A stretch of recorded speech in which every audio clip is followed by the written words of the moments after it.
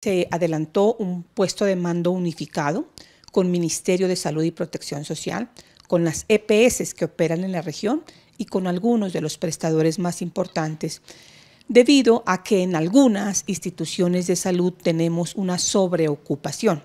Especialmente la sobreocupación está generada en el Hospital Universitario Departamental, que tiene aproximadamente un 130% de ocupación, teniendo en cuenta que ellos ya habilitaron camas de expansión.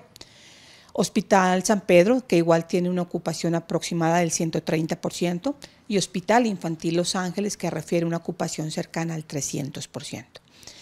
¿Cuáles son las causas probables de esta sobreocupación de camas? Son dos.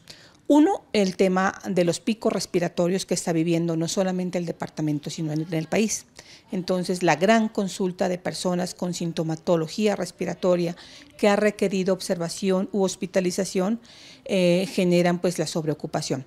Pero también algunas otras circunstancias, por ejemplo, eh, pacientes que están tratados con otro tipo de patologías que requieren autorizaciones por parte de las CPS y que se tardan. Hay pacientes, por ejemplo, que ya tienen salida de estos hospitales y están esperando a que las CPS les autoricen hospitalización en casa. Pacientes que requieren cirugías y están esperando que les autoricen material de osteosíntesis. Pacientes que requieren ser referidos de Hospital San Pedro, Hospital Departamental a un hospital psiquiátrico y están esperando también la asignación de camas. Esa es la segunda razón que genera la congestión. Pero hay otra razón que ya la hablamos con el agente interventor y fue establecida en el plan de choque, y es que hay clínicas privadas de alto nivel de complejidad que no han sido contratadas por las EPS, especialmente en Sanar.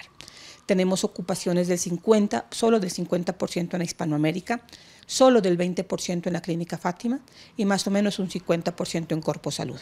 Entonces ya se habló y se coordinó con el agente interventor para que él amplíe su red de prestación de servicios hasta estas clínicas privadas donde tenemos oferta suficiente de servicio y estarían siendo desaprovechadas. Las CPS que estuvieron presentes en la reunión definieron una persona ya para que genere autorizaciones rápidas de los pacientes que tienen represamiento. Se definió algunos pacientes que pueden terminar su tratamiento en primer nivel de complejidad. Allí el doctor Diego Morales les dispuso de 11 camas que tiene vacías en el Hospital La Rosa para hacer el desescalonamiento.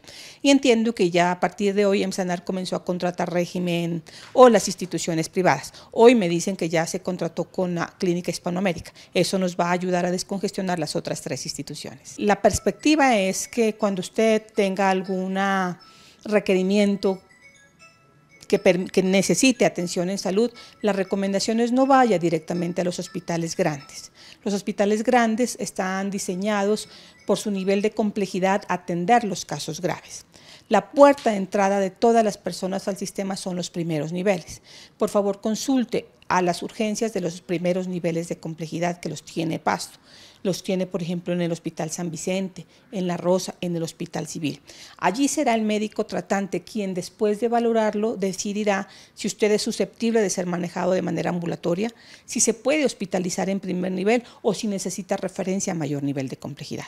Eso al usuario le genera ventajas porque no es lo mismo esperar en un hospital departamental que lo atiendan 6, 7 horas a esperar en un hospital de primer nivel que generalmente en 30 minutos le definen una conducta. Y es la puerta de entrada.